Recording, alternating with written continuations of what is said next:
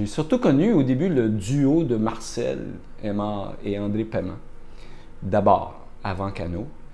Et ensuite, ma première expérience Cano, ça a été un spectacle mémorable sur deux soirs à l'atelier d'Ottawa.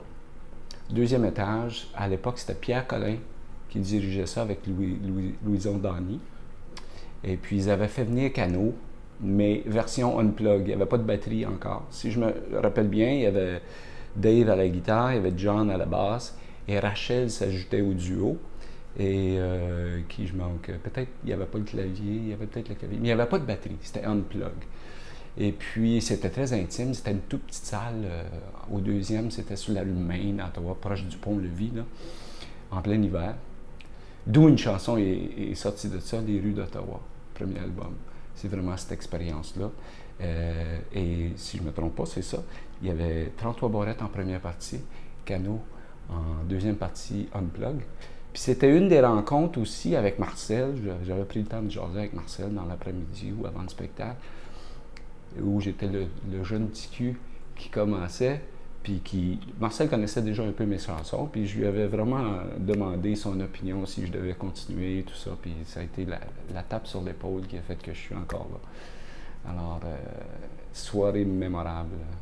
J'avais été voir les deux spectacles d'ailleurs.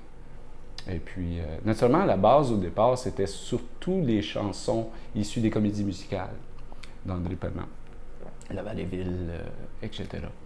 Et euh, naturellement, ben là, il s'est fait un following. Un autre spectacle mémorable que j'ai vu, c'était au Centre municipal d'Ottawa.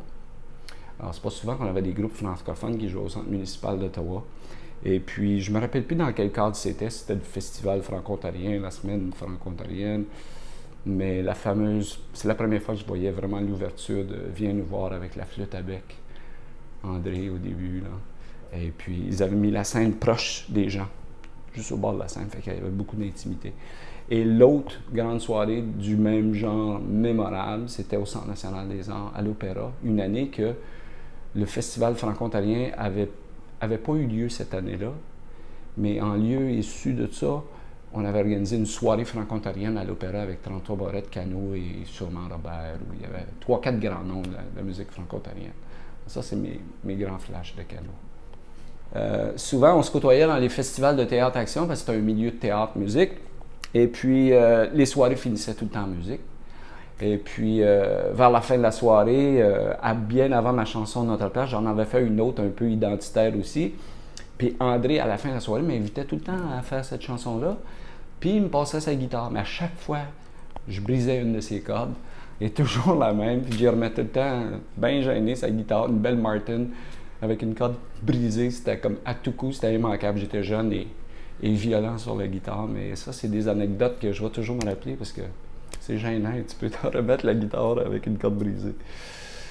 Euh, quand on pense au vieux Médéric, euh, viens nous voir, euh, les rues d'Ottawa, justement. puis les trois premiers albums étaient magiques pour moi. Soleil mon chef, qui était une autre chanson tirée d'une des comédies musicales, qui était La Vallée-Ville.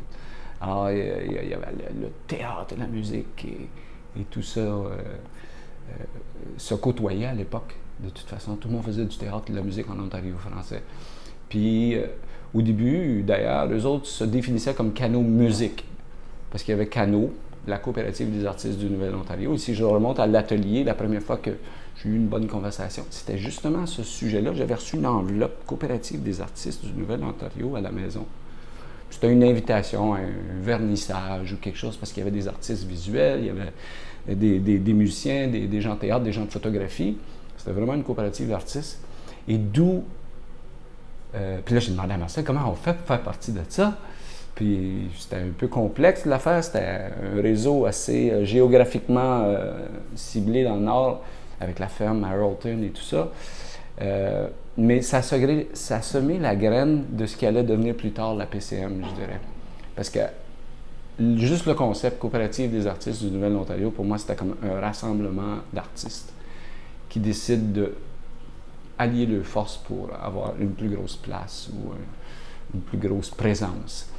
Et puis, euh, ça a semé, la graine qui, a quelques années plus tard donné ce qui est devenu l'Association des professionnels de la chanson et de la musique, qui, qui avait beaucoup été inspiré par l'esprit de Cano.